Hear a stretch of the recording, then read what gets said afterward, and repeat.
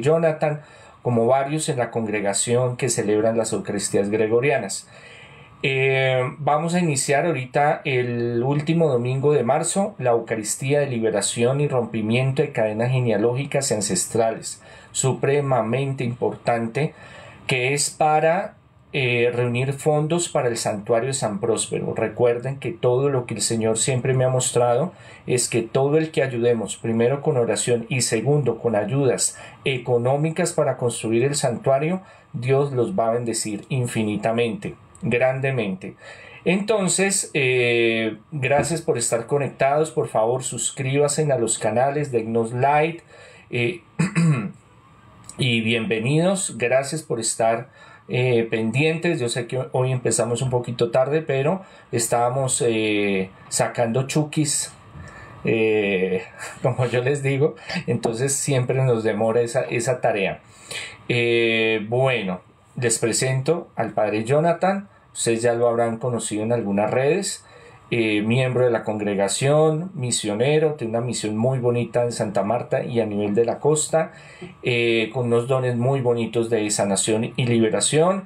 Eh, bueno, ahí se los dejo para que él les cuente qué andaba haciendo, qué anda haciendo por Bogotá, qué andaba haciendo estos días. Cuente a ver. Ante todo, un, saludo cordial y afectuoso para todos ustedes, amadísimos hermanos todos en Jesucristo nuestro Señor. Para mí es un gusto y una alegría poder estar hoy junto a nuestro arzobispo acá en Bogotá. Eh, siempre es una riqueza y una fortaleza poder estar a su lado eh, porque compartimos estos dones del Señor que por en virtud de nuestro sacerdocio eh, nos permite llevar para todos ustedes, amados de Dios, gracias, bendiciones, liberación, prosperidad, sanación para ustedes y para sus familias. Eh, como ya lo ha dicho Monseñor, para los que de pronto no saben, no me conocen, a nivel de toda la costa colombiana, Santa Marta, Barranquilla y Cartagena, pues ahí estamos en representación de nuestro arzobispo, de nuestra congregación, llevando esta misión congregacional, misionera de liberación, con sede en Santa Marta. Eh, y en estos momentos también con una proyección de misión internacional. Em, siempre que vengo pues a Bogotá, vengo a atender también a algunos pacientes, algunos hermanos urgidos de liberación, atender también los requerimientos de nuestro arzobispo y eh, los diferentes feligreses que tenemos en, las diferentes eh, misiones.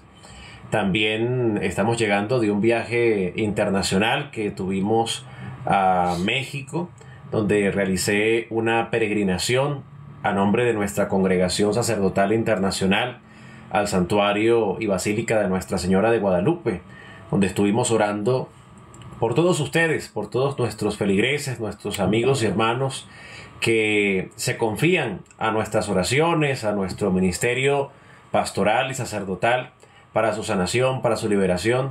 Y han sido muchos los testimonios que hemos recibido a partir de, esta peregrinación.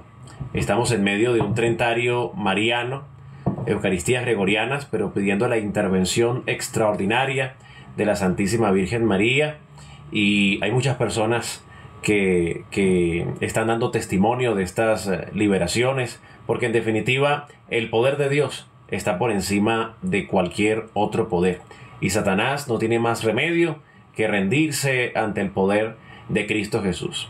De manera pues que estamos al servicio de todos ustedes y pues eh, por medio de las redes sociales eh, dispuestos a, mm, conversar de sus inquietudes, de sus interrogantes, de sus dudas en materia de fe, de liberación, de, prosperidad, en la ayuda que ustedes estén eh, requiriendo.